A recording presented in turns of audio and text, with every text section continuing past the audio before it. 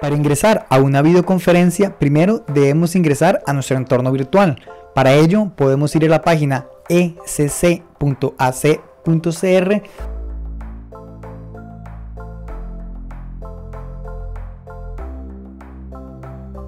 o podemos ingresar desde la página de la universidad castrocarazo.ac.cr y seguidamente seleccionar la opción de ECC más ubicado en el menú superior.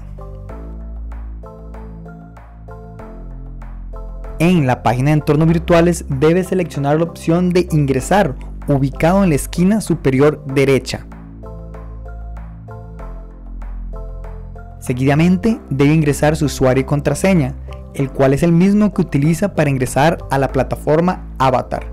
En caso de no contar con un usuario y contraseña, nos puede escribir a soporte bgt.castrocarazo.ac.cr y con mucho gusto le podemos proporcionar su usuario y contraseña. Al ingresar a sus entornos virtuales debe seleccionar la opción de mis cursos ubicado en el menú superior. Seguidamente debe seleccionar al curso al cual quiere ingresar. Dentro del curso debe seleccionar la semana donde se estará realizando la videoconferencia. Ya dentro de la semana donde se realiza la videoconferencia, debe ir a la sección de recursos y actividades y podrá ver la opción que dice Big Blue Button con un título y una descripción sobre la videoconferencia.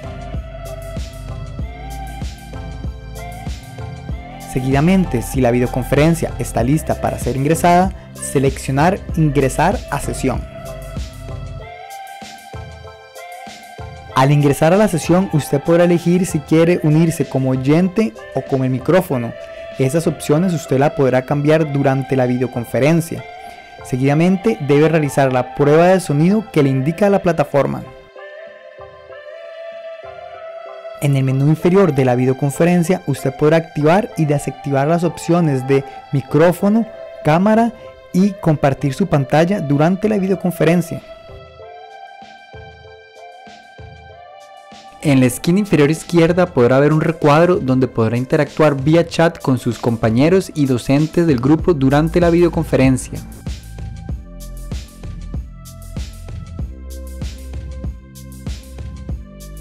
Para salir de la videoconferencia simplemente cierre la pantalla del buscador